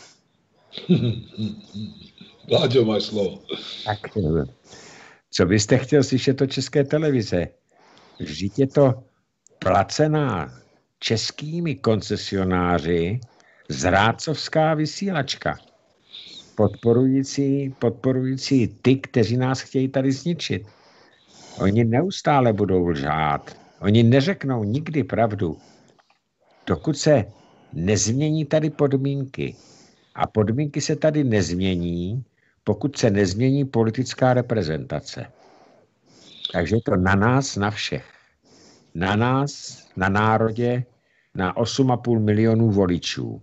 Jestli změní politickou reprezentaci tak, aby se vyházela ta skorumpovaná, prolhaná zběř, která ovládá mass media, tedy elektronická televize a rozhlas, a aby se tam dali lidi, kteří budou říkat pravdu. Já navážu, jestli můžu krátce, možná to vládě nevíš, asi to neví řada posluchačů, ten eh, zvořil řečeno odklon eh, naší exekutivy a legislativy od elementárních národních zájmů má někdy až úplně eh, jaksi zvrhlé, zvrhlé souvislosti a projevy. Lidé z médií slyší a čtou, že naši poslanci se uráčili eh, se zasadit o větší potravinovou soběstačnost a bezpečnost. A jako veliký eh, výkon tímto směrem se vydává návrh zákona, který má stanovit minimální procentuální podíl českých potravin na trhu. Eh, tuším, že to začíná čas cifrou 50 a pak to má nějak růst. Ano, Právě, Až do 80. V minulých hodinách jsem měl dlouhé příjemné debaty s pány Velebou a Jandejskem, tedy bývalými prezidenty agrární komory a muži mimořádně odborně zdatnými v tomto oboru. A se zděšením jsem se od nich dozvěděl, že těch 50 až 80% se nemyslí tak, že by ty potraviny tady musely být skutečně vyrobeny, ale že prostě stačí, aby tady byly alespoň přebaleny což je děsivé a my jsme s Petrem vyslechli pana inženýra, vlastně není inženýr Havláta, v jednom z minulých rozhovorů tohoto typu. A on nám tady docela plasticky popisoval, eh, jak eh, kvalitní skot a prasata a tak dále jsou vyvážena, nejenom, že jsou vyvážena v živém v podstatě stavu do zahraničí a tam jsou zpracovávána, aby se k nám vrátilo to zpracované a samozřejmě se ziskem na straně cizích firm, ale že dokonce to kvalitní tam zůstává a k nám se dostává maso úplně odínut, často před dlouho zmražené a tak dále. Eh, tak eh, teď jsem pochopil, že to má trvat i nadále a akorát pod tou šarlatánskou fasádou, kdy stačí to tady přebalit a, a prostě bude, bude to jinak a jinak. Eh, Vladimír má svatou pravdu. My potřebujeme vyměnit garnitury, snad tomu ta krize napomůže. A pravdu má i posluchač. Po světě se začínají odtajňovat neuvěřitelně zajímavá fakta. Ta fakta jsou přímo od pramene a nikdo, ani největší amerikanofil a, a posluha prostě cizího zájmu, těžko ne, nemůže jak si tato fakta jakkoliv spochybnit, pokud jsou z autentických zdrojů institucí typu CIA a FBI. Smůla je v tom, že nejenom v tom, že česká televize, která konzumuje 8 miliard ročně, samozřejmě nic takového dělat nebude, ale smůla je v tom, že nám zatím chybí dostatek lidských a finančních zdrojů na to, abychom se do toho pustili alternativně. Zkusme si představit, že by Vladimír mohl vysílat taková fakta a nezávislé rozhlasy a parlamentní listy a Nová republika a střípky ze světa, že bychom jaksi zásobovali veřejnost fakty tohoto typu přímo odpravené. To vyžaduje stovky a stovky hodin tvrdé práce, kterou bohužel v tom... A peněz. A peněz přirozeně. To, pokud to budeme chtít zadat i lidem, kteří se v podstatě tomu budou věnovat na, na, na hlavní úvazek, tak musí z něčeho žít. To není proto, že by měli být rozmazlení, ale prostě tak to v životě chodí. Máme smůlu zatím, takové sponzory nemáme. Možná se časem dopracujeme k tomu, čemu se v Americe říká crowdfunding, to znamená, že lidé sami přispívají po malých částkách na určitý projekt a ten projekt to uživí. Takový Bernie Sanders to sbíral po 30 dolarech a pozbíral desítky a stovky milionů dolarů. Třeba se nám to jednou podaří taky. Tak, eh, mu, ano? Jednu, jednu, jednu větu. Ano. Eh, s výsledkem eh, těchto odtajnění, tak jsme se dozvěděli konečně například po letech pravdu o vzniku a důvodech větnamské války, o incidentu v Tonkinském zálivu, kdy jste kdy řvali američani a proto vznikla válka americko-větnamská. Tam e, torpédovka větnamská jim torpédem z nás se střelila ten, e, tu, tu, tu, tu loď a tady právě z těchto záznamů a dokonce tam jsou, e, jsou autentická slova e, tehdejšího viceprezidenta e, nebo to, to už byl prezident Lyndona Johnsona, že si to američani udělali sami a nahráli to jako na Větnam, aby měli důvod, je to false flag, útok pod falešnou vlajkou, aby měli důvod napadnout Větnam. A podobné falešné útoky pod falešnou vlajkou má americká armáda ve svém rejstříku až do dnes a e, nemusíme chodit daleko, podívejme se, 1,5 milionu mrtvých Iráků pod falešnou vlajkou, protože se tam nic nenašlo. Eh, jakmile se budou v budoucnu odtajňovat eh, další a další eh, věci, tak se třeba dovíme i pravdu o zavraždění prezidenta Kennedyho, která se má odtajnit až 99 let po jeho smrti. Tak můžu dál? Uh, tak uh, vraťme se zpátky k aktuální covidové situaci. Sice pojďme na Slovensko. Je tady dotaz, pane Kapale, co si myslíte o plošném testování na Slovensku, který běží. V podstatě to nepomohly ani ty pitvy. A jestli tam bude taky plošný očkování. Já se domnívám, a bavil jsem se o tom, já neznám slovenskou ústavu. Abych se přiznal, tak já jsem ji nestudoval a neznám ji. Ale ptal jsem se na naši ústavu. A ptal jsem se člověka, který je místopředsedou sněmovny a on taky nevěděl, ale myslí si, že nařídit plošné testování zdravých lidí, i, z, i zdravých lidí, je v rozporu, s, pravděpodobně v rozporu s naší ústavou. Takže co, a výsledek toho, co se děje na Slovensku, tak určitě jste se dočetli někde, že co se stalo, když mluvil pan premiér Matovič, že místo testování se splet a řekl čipování. Hmm. To bylo slyšet v médiích, prosím. No, a Robert Fico mimochodem nabral kouzelně na vidle. Ano. Eh, to si asi zaznamenal, Vláďo, že vláda nakoupila za 40 zhruba 3 milionů euro ty testy, které podle všech hodnověrných eh, informací, jejich reálná cena prodejní, ne, nemluví o tom, jaký zisk je už v ní skryt, je o nějakých 12 až 20 milionů euro menší. A Robert Fico doložil velice konkrétně a věrohodně, že kolem firmy, přes kterou se tento temný kšeft odehrával, jsou oblepeny přímo postavy manželky premiéra Matoviče a dalších vrcholných představitelů nynější vlády, čili to je tunel za bílého dne, který Robert Fico obnažil jsem zvědav, co, co se na této bázi na Slovensku ještě stane. A navíc, pokud eh, mi moji přátelé lékaři poskytují eh, informace relevantní, tak já věřím, že ano, tak eh, účinnost těch testů těma nočníma tyčinkama je mezi 60 a 80 procenty.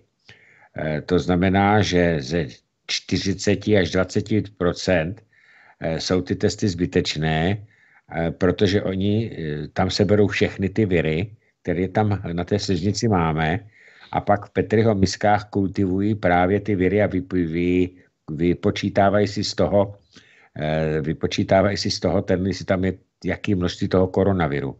Ale protože ten koronavir v podstatě se obnovuje velice rychle, tak věci zjistili, a bylo to publikováno, že během dvou, tří dnů tam je 12 až 14 generací těch koronavirů a ty už se namnožejí tak, teda ten covid, že to je e, neprůkazné a ty lidé jsou označeni jako pozitivní, ale oni ve skutečnosti pozitivní nejsou, protože to je jenom tak rychle mutující a na, na, namnožený ten virus. Tak já nevím, eh, například v Rakousku, a to mám uvěřeno přímo od našeho posluchače z Rakouska, tak tam se používá eh, testování eh, určitým roztokem, kde se musí kloktat až do umandlí, abych to tak řekl, a pak se to takovým brčkem ten roztok napustí do nějaké uzavíratelné trubičky a podle toho oni dělají ty testy a žádný žádný strkání eh, tady až eh, na tu kůstku někam do hluboko do nosu tam nedělají. Já si dovolím dvě, dvě drobné poznámky k tomu. Eh, díval jsem se na tiskovou konferenci druhou, tedy už nového ministra zdravotnictví, pana Blatného. Tam mu jeden z novinářů položil otázku týkající se nějak právě, že ty testy nejsou zdaleka stoprocentní. A on odpověděl způsobem, jemuž já jsem rozuměl, a předpokládám, že jsem mu rozuměl správně, tak, že údajně, když je těch testů méně, tak jsou méně spolehlivé. A já jsem doteďka přemýšlím, co tím chtěl říci. Jak je možné, že ten samý test, když jich je, já nevím, jenom 500 nebo 5000 denně, nebo že, že jsou méně spolehlivé, než když jich je 40 tisíc nebo kolik jich teďko dělají. To mi do teďka, teďka vrtá v hlavě. Stejně jako by vrtá v hlavě něco jiného, aniž bych chtěl spochybňovat si nebezpečí zdravotní, to mi nepřísluší. E, ty testy, vzpomeňte, vzpomeňme si, na, řekněme, březnu, v dubnu stály 1700 a 2400 a podobně. A předpokládám, že kdybychom se zeptali, proč je to tak drahý špás, tak by nám nepochybně někdo vysvětlil, že ty gigantické eh, zahraniční farmaceutické koncerny museli utratit eh, pomalu desítky miliard dolarů, aby se dopracovali k něčemu takovému. Pak ale krize běžela a my jsme se dozvěděli, že na pražských fakultách, eh, teď mám dojem, že to byla Vysoká škola chemická, technologická nebo ČVU, to už nevím, parta standardních zaměstnanců, vědeckých pracovníků, výzkumných pracovníků, laborantů vymyslela nějaký nový test. Žádný grant na to, jak jsem zaznamenal, nedostala. Ti lidé dostávali jenom svoji výplatu a hm, asi dosáhli výsledku klobou dolů. Takže zdůvodnit ty ceny 1700 a 2000 a něco věrohodně se teda nikomu nepodařilo. A pokud je mi známo, tak denně se provádí přes 40 tisíc testů. Jestli tomu dobře rozumím, tak eh, inkaso za ty testy, ať už z kapes lidí, kteří tam přicházejí osobně, nebo z eh, kapes daňových poplatníků v případě, že jsou testováni lidé, abych tak řekl, na z rozhodnutí lékařů, hygienické služby a podobně, tak eh, to, to, ty tržby jsou denně v řádu 60-70 milionů, jestli tomu dobře rozumím. Dobře, tak, takže tady někdo eh, jak si velmi prospívá z, z celé té operace, stejně jako velmi prospíval z operace roušky, respirátory a podobně, kdy je nespornou skutečností, že výrobní cena té standardní roušky nečiní ani jednu korunu českou. Já ti vysvětlím, eh, jak to myslel pan Blatný. No. Jste. Velice jednoduše. Protože oni jsou nutné mít určit, dosažení určitých čísel, určitých výsledků. Hmm. A protože když se budou dělat ty testy méně, tak těch výsledků pozitivních bude taky řádově méně a proto jsou nepřesné. Proto se to musí plošně dělat. aby dosahovali čísel, aby mohli strašit lidi a mohli je držet pod zámkem. A mohli říkat policajtům, aby byli tvrdí a pokutovali každého, kdo se spozdí u známých a jde večer po 8 hodiny deseti tisíci korunama. Hmm. No. Tak, pánové, uh, můžu teda už na další téma? Určitě. Tak, uh, mám tady z jiného soudku člověk se ptá, eh, jak si vysvětlujete klesající podporu levice? Je to opravdu tím vymíráním starých generací? A co musí levice udělat pro to, aby zastavila ten sešup? A co když úplně zmizí ze scény? Co potom čeká české pracující? Oh, to je asi otázka na mě hlavně. No, my jsme před sjezdem, který se možná zase neuskuteční 28. 29. listopadu z objektivních důvodů, bude-li nouzový stav a, a opatření budou protažena eh, přes toto datum, což je možné. My jsme v krizi, v jaké komunistická strana za téměř 100 let své existence ještě nikdy nebyla. Za prvé, propadli jsme se pod 5% hranici, což je, jak si, to bije na poplach, protože pokud se věci nezmění velice radikálně, no tak v příštím roce přestaneme být i parlamentní stranou. Eh, my už nejsme, říkám to s hořkostí v srdci, se svojí dnešní politikou nejsme pro drtivou většinu lidí žádnou alternativou. A to je to, pos, to, je to, to nejhorší, co se straně našeho typu může stát. Musíme to napravit velice rychle. Eh, musíme to napravit eh, ne snad jenom nějakým svížnějším marketingem a tím, že povyměňujeme pár tváří, že tam budou mladší tvářičky, jako by věk byla zásluha a eh, jak si ty, ty tvářičky nám koupily přízeň. Samozřejmě, že musíme omlazovat i své řady, to dá rozum, ale ne bez hlavě. My především musíme změnit e, svoji nabídku pro lidi. My nemůže být přívěškem establishmentu. Nes, eh, je, je mi ho velmi hořko, když o nás novináři píší, že si nás pronajalo ano, že jsme krotší než sociální demokracie za první republiky, že to děláme kvůli pár dobře placeným postům, prostě lidí, kteří v těch dobře placených postech sedí. Eh, my musíme lidem nabídnout alternativu, která nebude vyset někde ve vzduchu, si něco vycucáme z palce, nebo že budeme říkat, že teď náš program plní vláda. Komičtější prohlášení jménem radikální levice, eh, jak si už nemůže zaznít. Já teď možná posluchače trošku šokuji. Eh, rodinným stříbrem, devizou, skutečně radikální, eh, emanc, jaksi, autentické, jak se někdy říká, komunistické levice, je, že rozumí kapitalismu mnohem lépe než všichni ostatní. Že rozumí tomu, co se hrává, odehrává v jeho tektonickém podloží, že si nedělá o něm žádné iluze a ví dřív a přesněji než všichni ostatní, kam ty rozpory pod povrchem spějí, čím to ohrozí normální lidi, kde se to bere a dnes, a teď možná šokují posluchače po druhé, dnes musíme být schopni lidem vysvětlit, že kapitalismus už nemá, si, nemá na to, aby byl, ne, že aby byl lepší, že už bude jenom a jenom horší. To si můžeme někdy vysvětlit pozadu, možná u Vladimíra třeba, ale to má naprosto objektivní příčiny. Velmi stručně nazvu aspoň tu hlavní. Kapitalismus se může rozvíjet, pardon, ještě, rozvíjet jedině tehdy, má kam expandovat. Jestliže nemá už kam expandovat, a tou takzvanou globalizací eh, se si ovládl téměř celý svět, tak eh, se mu hromadí zisk v privátních rukou, eh, ždímaný z práce lidí, které má ve mzdě nebo jinak, a nůžky mezi masou toho zisku, která se chce znovu zhodnocovat, a kupní silou lidí, z jejíž práce pochází, se rozevírají víc a víc a víc. A tento, pro, tento rozpor pozdního kapitalismu dosáhl naprosto nevýdaného stupně.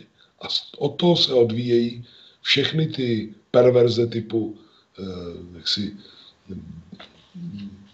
deriva, letadel a, a jak se tomu říká ještě, eh, ještě druhé slovo, pro ty prostě ty, ty hromady, hromady eh, uměle na, směšovaných aktiv, skutečných, takzvaně jedovatých, toxických, zadlužování státních rozpočtů, znárodňování těch dluhů. Ale to je na, na další debatu. Bez, bez eh, jaksi, znalosti Marxe a schopnosti analyzovat kapitalismus těmato očima se nepohneme vůbec nikam. A křižovatka KSČM je o tom, jestli si ještě jednou namluvíme, že stačí povyměňovat nějaké rošády. Ti, co tam seděli, tak malinko povyměňovat a, a ono to nějak půjde. A nebo jestli si přiznáme, že politika, která postrádá toto konceptuální teoretické zázemí, je, je, je dávno prostě za zenitem a nemá lidem kolem nás vůbec co říci.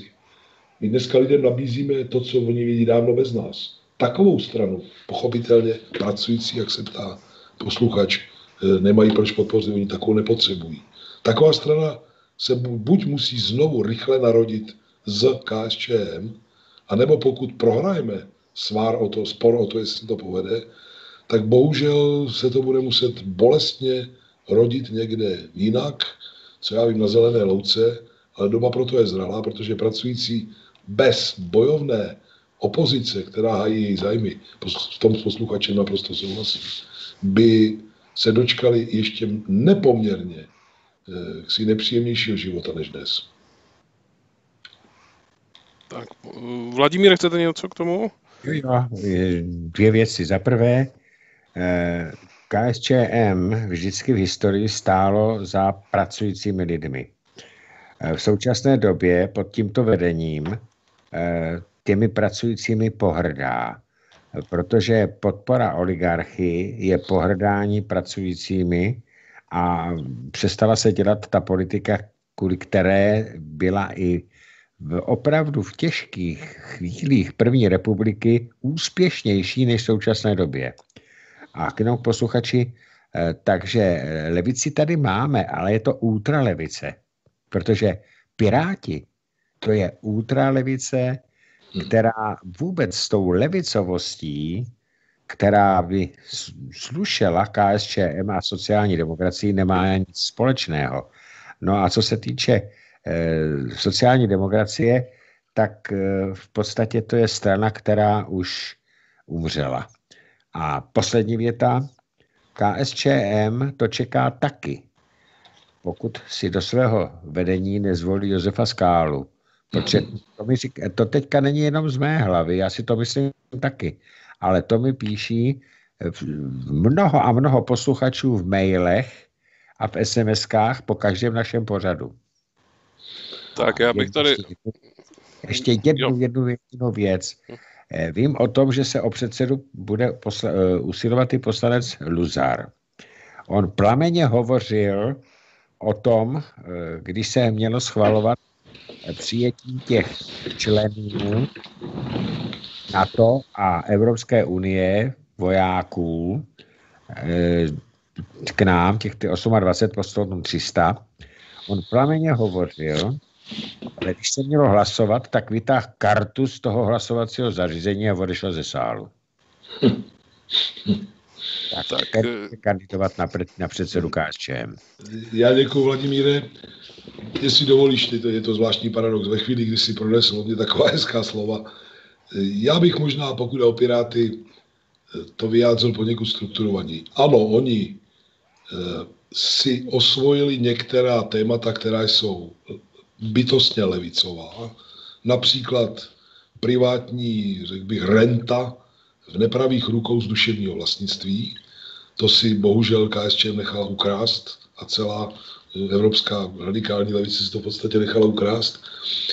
E, a mají i některé jiné návrhy, které jako působí levicovým dojmem, ale právě, že jenom působí. Oni zároveň prosazují věci, které e, levicové nejsou ani náhodou, ale to nechci... Je tam, je tam takový trošku někdy optický klam. Pepo, proto jsem říkal, jsou ultrale, ultralevičáci, kteří nemají s levicí nic společného. Ano, pak si rozumíme, pak si rozumíme, ano. Tak.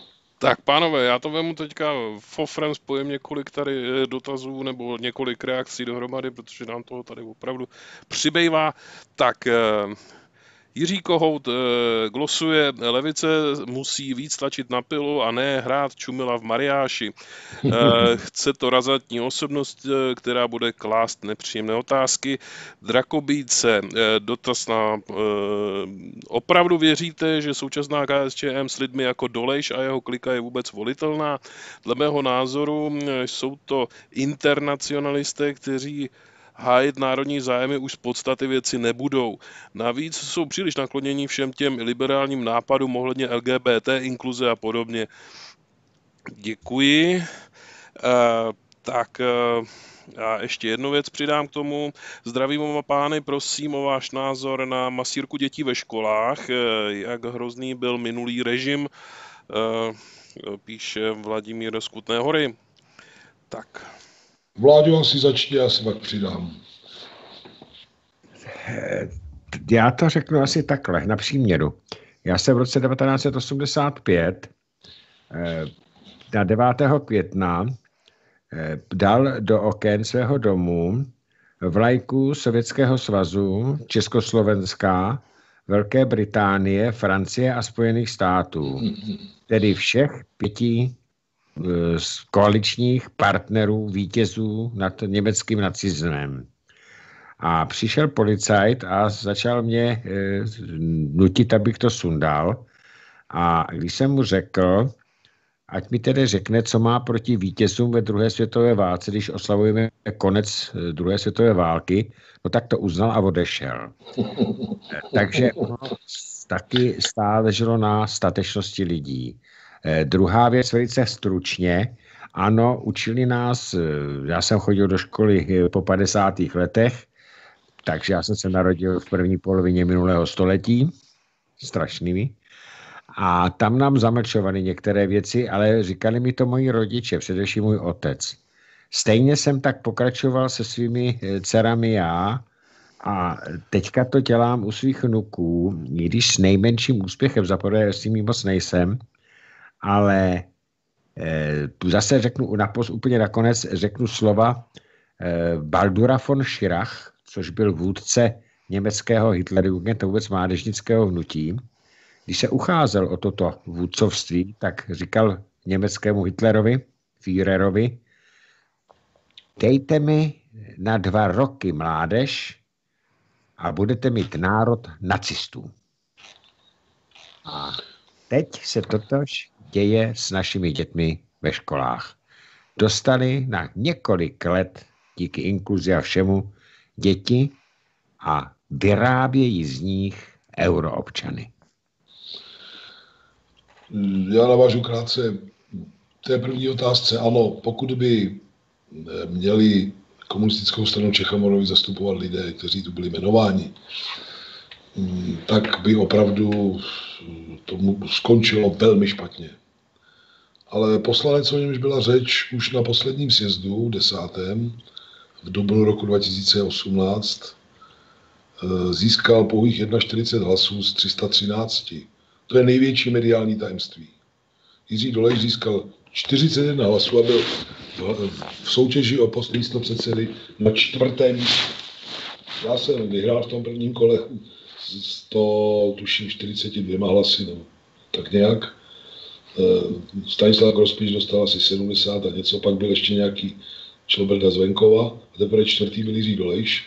No ale protože se postupovalo metodou vítěz bere vše, tak jsem v druhém kole musel prohrát asi, tuším o tři hlasy. To pozbírali nějak zuby nechty. Ehm, ano, KSČ musí reprezentovat úplně jiní lidé, lidé, kteří budou bojovat a ne skuhrat na televizních obrazovkách, ne se podbízet, lidé, kteří jsou nabiti argumenty a ne, že tam eh, vylekaně koukají, co na ně vybavne a tak dále, těch parametrů. Také lidé, na kterých bude vidět na dálku, že to dělají pro pracující lidi, že se budou prát o jejich zájmy a práva, a ne, že to dělají kvůli svým prebendám. A pokud je o ty děti, já nebudu popírat, že za socialismu eh, některé věci, některá témata byla jaksi přitlumena, že nedostávala možná adekvátní váhu, eh, ale to je zhruba všechno. Nikdo děti ve školách tehdy nepomoukal proti husitům. Nikdo mi nelíčil jako bandu nějakých darebáků a loupežníků a podobně. Nikdo eh, jim nepřikrašoval domu temna, Bílou horu a tak dále. Krásami Maroka a podobně jako teď. Nikdo jim ne, ne, nikdo nehecoval proti legitimnímu řešení vztahu k Němcům, kteří zradili naši republiku a byli odsunuti, což pro mě byl ten nejhumánnější vůbec způsob, jak to vyřešit. Jinak by mohlo dojít i docela pochopitelnému násilí. Nikdo prostě, pardon, nikdo, nikdo prostě tyto základní otázky eh, mladé generaci neobracel zhůru nohama a také penzum znalostí, které tehdejší mládež o dějinách své země a světa získávala, bylo mnohonásobně větší než dnes. Dnešní mladí, mladí lidé, často i s vysokoškolským diplomem, na tato témata vědí ne, nezřídka naprosto chatrný zlomek toho, co my jsme znali už před maturitou. To je prostě nesporný fakt a lidé, kteří učí na vysokých školách, se chytají za hlavu, jak málo nacházejí vůbec psychický kontakt s tím, s tím, s tím ubohým penzem znalostí, které s nimiž tam přicházejí posluchači jako absolventi prostě středních škol, často i docela prominentní gymnází. Ta debilizace, omlouvám se za to slovo, někdy se tomu tak říká, mladší generace je naprosto záměrný proces, protože lidé, kteří toho vědí hrozně málo a jsou v podstatě duchovními bezdomovci, jak to říká velmi hezky Lenka Procházková, jsou pochopitelně velmi snadno manipulovatelní.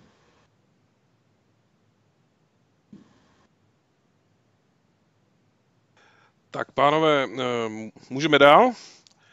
Kolik toho, Peťo, máš ještě? Tak, eh, mám tady několik posledních dotazů. Tak, eh, dotaz na pana Kapala. Co si myslíte o výroku pana Petra Hampla, že SPD pracovala proti pirátům v obcích a malých městech málo a to se odrazilo na výsledcích voleb?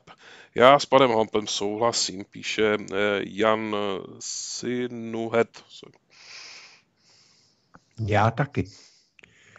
Já s ním taky naprosto s Petrem Hamplem souhlasím. A vysvětlím ještě, co se dělo. E, podívejte, tady na Kladecku vyhrála e, senátní volby Pirátka, které bylo těsně 40 po dva dny. Ale eh, nikdo ji neznal a tak to tedy začala dělat tak, že rok před těmi senátními volbami založila neziskovku, ano, od pirátů, kteří jsou placeni ještě kromě peněz ze státu, tak ještě ze, od Sereše a od dalších, od dalších eh,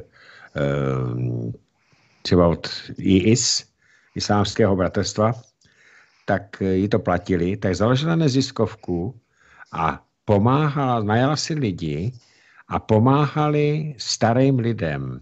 Chodili jim uklízet, chodili jim, chodili jim nakupovat, nosit.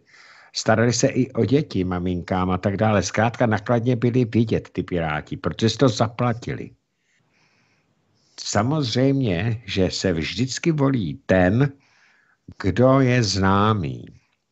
Takže ty lidé tuhle tu pirátku zjedili, jo, ta pomáhala lidem. Taky zvolili.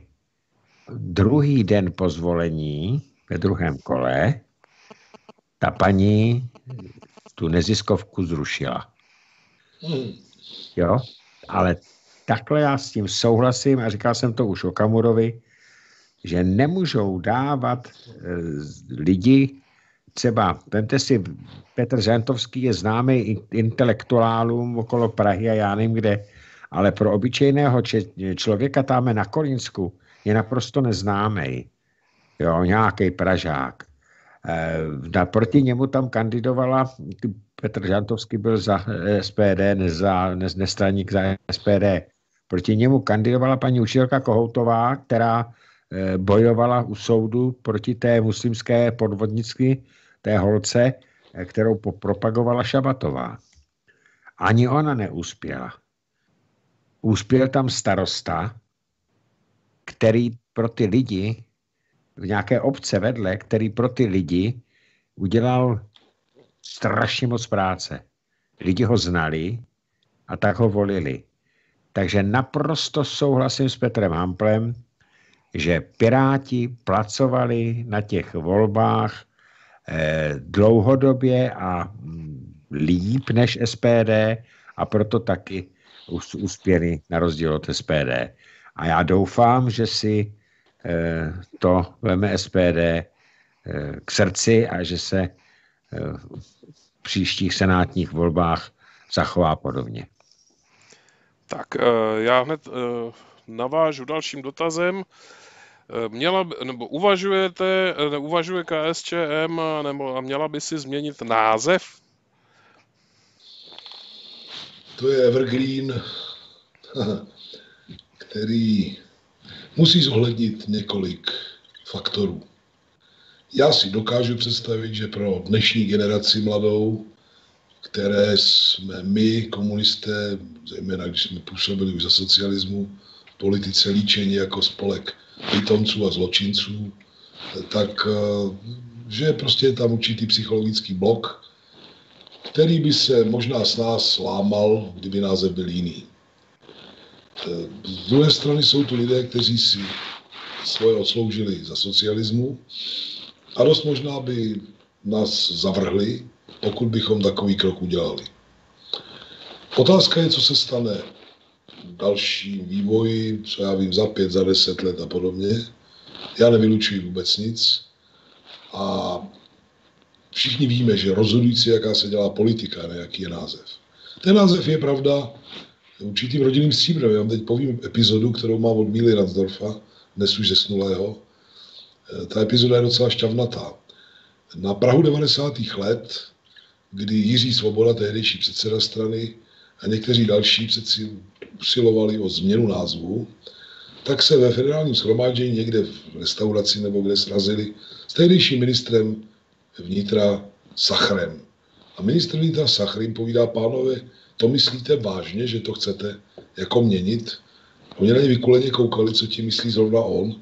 Říká, prosím vás, to je to samé, jako kdybyste se rozhodli přemenovat plzeňské pivo. To přeci je váš, vaše, vaše, vaše, vaše obchodní značka, která vám získává nějak lidi a tak dále.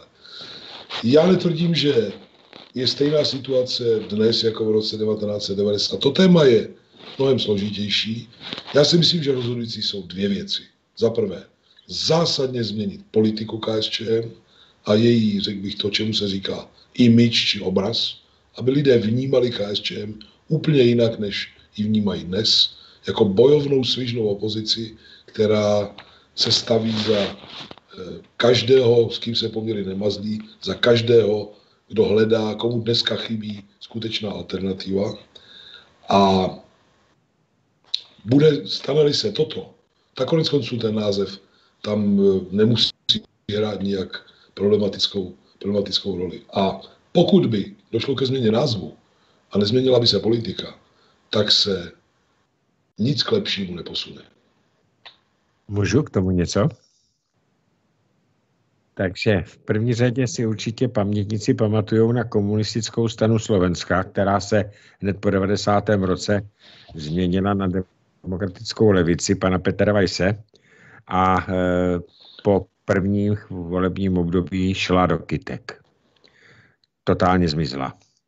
To je jedna věc. Druhá věc, já osobně si víc vážím lidí, kteří byli za minulého režimu členy KSČM a zůstali jimi, než těch, kteří byli členy KSČM a využili, nebo tehdy KSČ, využívali této výhody a okamžitě po 90. vlezli do jiných stran. Takovými lidmi já jsem většinou pohrdal. Takže já se domnívám, že pokud by strana z KSČM změnila svůj název, takže by tam jenom umocnila ty, to zvonění těch hran.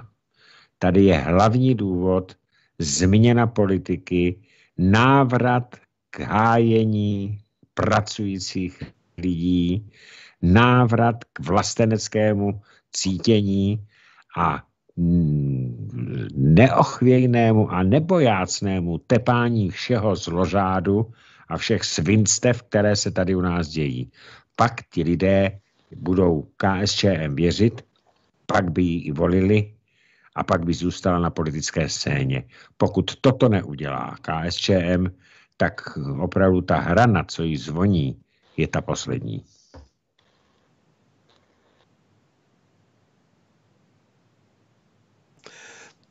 Tak eh, moc děkuju, pánové. Je tady, eh, těch komentářů je spousta.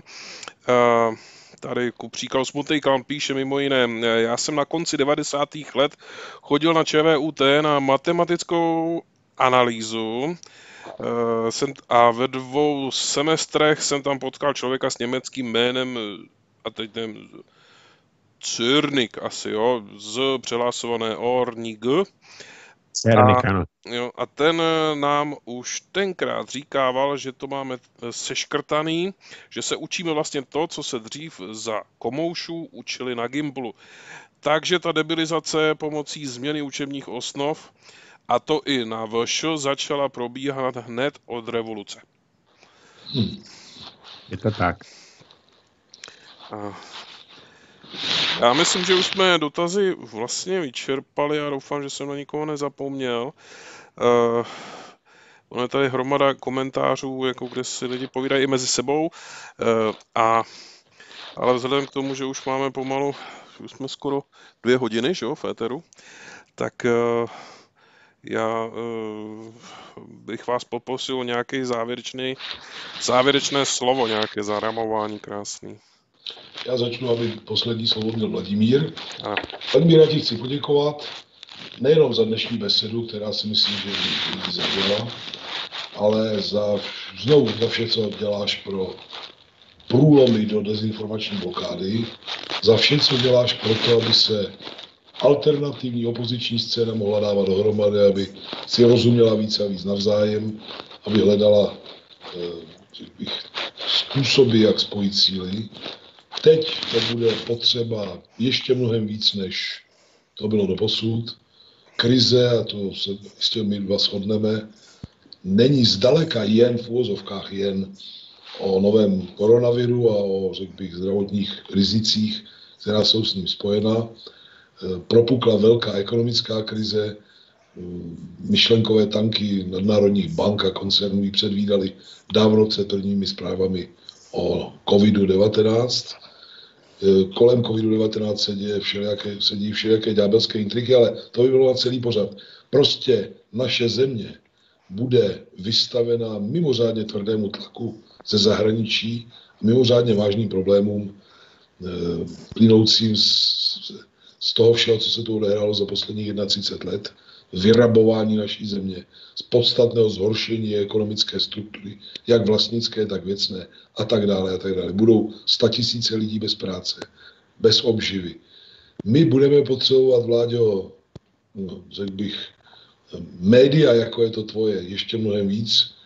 A já věřím, že ten krásný vztah, který se mezi námi všemi, kdo k tobě chodí, a tebou a tvojí redakcí vytvořil, že určitě nemá důvod se zhoršit a právě naopak. Moc si to přeju a těším se, že budeme táhnout za jeden provaz do budoucnosti. Ale teď máš poslední slovo ty. Já v první řadě děkuju Petru Burešovi, že mě pozval do toho povídání eh, s Pepou Skálou. Děkuju Pepo i tobě, eh, protože s tebou si vždycky rád povídám jako se všemi našimi hosty a musím říct jenom jednu, jednu eh, velmi důležitou věc. Pokud má člověk někomu úctu, pokud si člověk někoho váží, tak pak ty společné projekty vypadají mnohem lépe, než když se jeden snaží potopit druhého. A já jsem hrozně rád, že i když jsme původně stáli na protějších eh, březích jedné řeky, takže jsme nakonec skončili na té lodce, která pluje eh, prostřed ty řeky. A věřím, že se nám společně podaří probudit stále ještě spící většinu národa k tomu, aby si začali uvědomovat, že teď už to opravdu není legrace, že teď už jde opravdu o naše kejháky. Takže to, asi toto. To bych podepsal, Vládo. Ještě jednou děkuji, že jsi přijal naše pozvání a strávil s námi skoro dvě hodiny. Já musím poděkovat samozřejmě všem posluchačům a našemu režisérovi a technickému redaktorovi Péťovi Burešovi. Péťo, úplně poslední slovo máš asi ty. Tak eh, vážení přátelé, naši sledovači, dneska vás tady bylo opravdu hodně. Eh, já vám moc krát děkuju za to, že jste se dívali, že jste s náma strávili večer. Eh, děkuju vám, pane Kapale, že jste udělal takhle úžasný pořád, že jste přišel. Děkuju tobě, Pepo. A vám všem, kteří se dnešní vysílání líbilo, sdílejte, lajkujte, dejte odběr, ať nepřijdete o další díly s dalšími hosty a doufejme, že zvítězí dobro a že to nebude takový průšvih v budoucnu ještě, jak to, jak to tak vypadá. Tak buďme pozitivní, ne na covid, buďme pozitivní a zdraví a plní dobré nálady. Omlouvám se všem, na který se ne, nedostalo, koukám, že eh, jsem eh, některý, někoho i přeskočil, eh, moc se omlouvám, fakt toho bylo dneska hodně a děkuji